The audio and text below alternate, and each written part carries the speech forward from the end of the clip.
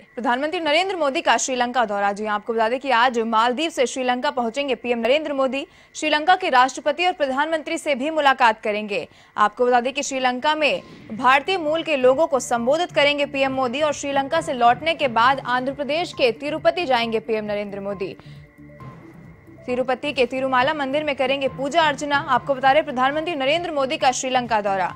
तिरुपति के तिरुमाला मंदिर में पूजा अर्चना करेंगे।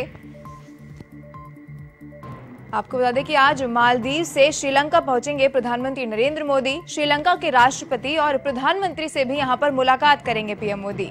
श्रीलंका में भारतीय मूल के लोगों को भी यहाँ पर संबोधित करने का कार्यक्रम है और श्रीलंका से लौटने के बाद तिरुपति भी जाने वाले हैं प्रधानमंत्री नरेंद्र मोदी। आपको बता दें कि तिरुपति जाने के बाद तिरुमाला मंदिर में यहाँ पर पूजा अर्चना करेंगे।